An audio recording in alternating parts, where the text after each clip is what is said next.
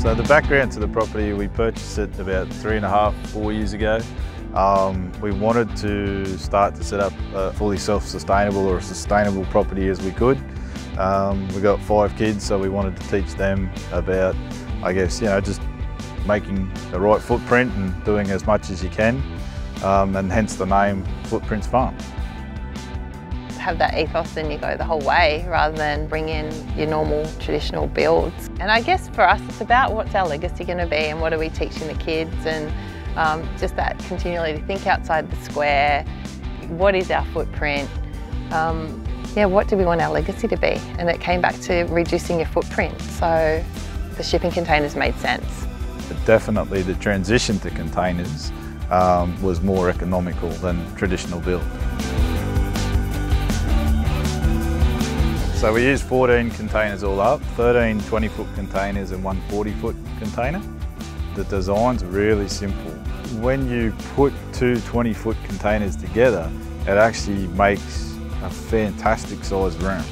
It's more than enough for, you know, kids, well, whether they be teenagers and they don't really play anymore or whether in the future there's grandkids and they've got Lego spread out all over the ground. And so like it's, it, the containers just work.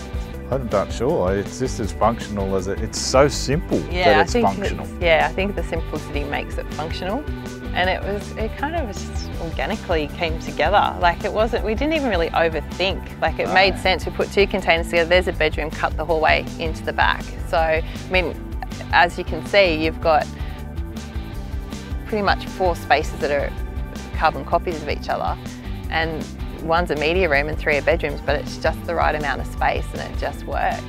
If you get that part right, the planning part right, the actual coming together has been really, really, really cool and actually really efficient, like really efficient.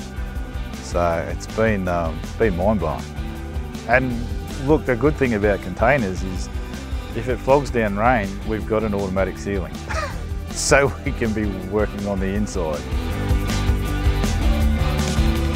So as far as picking container traders and the modifications, um, I went out to about six, probably to eight different um, container mobs um, all around Australia.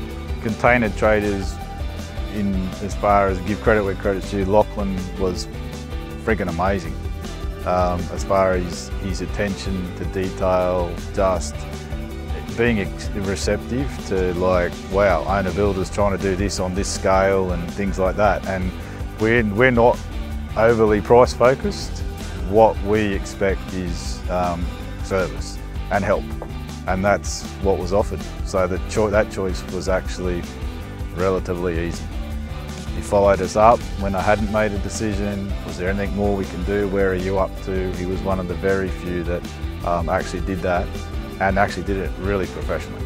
And we both run our own businesses and have done for a long time. So when someone treats me like that, that goes a long way to selecting are they going to be involved or not. So it actually wasn't a hard call.